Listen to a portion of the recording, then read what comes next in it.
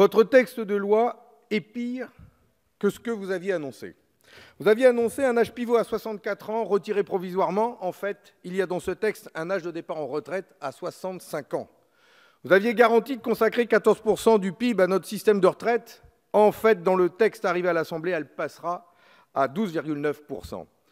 Ce serait d'ailleurs la première fois depuis 1946 que cette part baisserait, alors même que le nombre de personnes âgées ne cesse, lui, d'augmenter dans notre pays. Et c'est une chance. Encore faut-il être à la hauteur de ce progrès de société.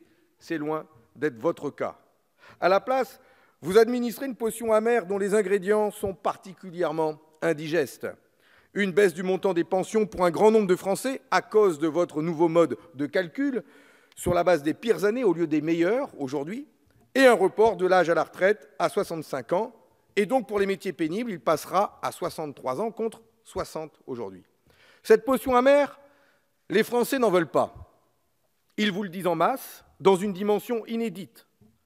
Avez-vous déjà vu autant de professions différentes unies contre une réforme? Avez-vous déjà vu des avocats balancer leurs robes, des hospitaliers tomber la blouse, des enseignants jeter les cahiers, des pompiers poser leurs casques, des égoutiers jeter leurs outils de travail, des cadres en colère et tant d'autres, sans oublier les lycéens, sans oublier les acteurs de la culture. 60 jours de mobilisation, c'est historique dans notre pays.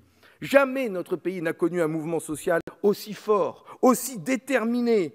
Jamais jamais, et pourtant vous vous obstinez à maintenir votre texte de loi. En plus, en plus, vous maniez la matraque comme rarement notre démocratie l'a fait.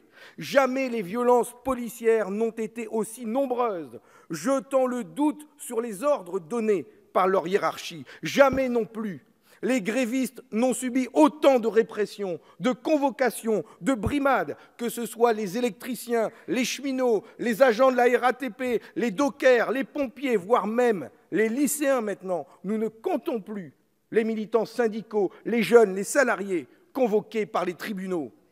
Je veux le redire ici, solennellement à l'Assemblée nationale, et nous sommes solidaires de tous ces salariés. Ce sont eux les héros de notre pays et non pas les Carlos Ghosn et autres Balkany issus de votre classe, celle des riches. Oui, il y a un problème de démocratie. Oui, vous êtes un pouvoir autoritaire. On est loin de l'ambition de 1946, quand Ambroise Croizat et le gouvernement dirigé par le général de Gaulle recherchaient l'unanimité au Parlement pour créer le système de sécurité sociale que nous connaissons aujourd'hui et qui est reconnu dans le monde entier. Et ils ont réussi, eux, à faire l'unanimité dans notre pays. Oui, notre pays a changé depuis 1946. Oui, nous produisons quatre fois plus de richesses aujourd'hui. Nous sommes la sixième puissance économique au monde et nous avons même maintenant l'homme le plus riche de la planète avec Bernard Arnault. Et il n'y aurait pas d'argent pour sortir de l'impasse dans laquelle vous vous êtes vous-même enfermé, il n'y a maintenant plus qu'une seule solution, c'est de redonner la parole au peuple. C'est à lui d'avoir le dernier mot. C'est la meilleure façon de sortir dignement, par le haut, de cette crise majeure. N'ayez pas peur d'interroger directement les Français par référendum sur votre projet. Voilà ce que vous demandent les députés communistes aujourd'hui. C'est une question de souveraineté nationale, de démocratie. La démocratie ne peut pas se résumer à un chèque en blanc donné tous les cinq ans à un gouvernement.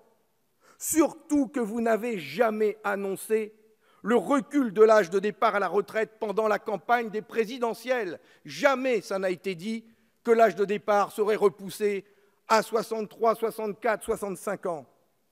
Oui, la démocratie en France a besoin d'air, elle a besoin de respirer. Et c'est de ce souffle-là dont notre pays a besoin aujourd'hui pour redonner tout son sens à la souveraineté du peuple afin qu'elle puisse enfin s'exprimer et sans entrave. Je vous remercie. Merci.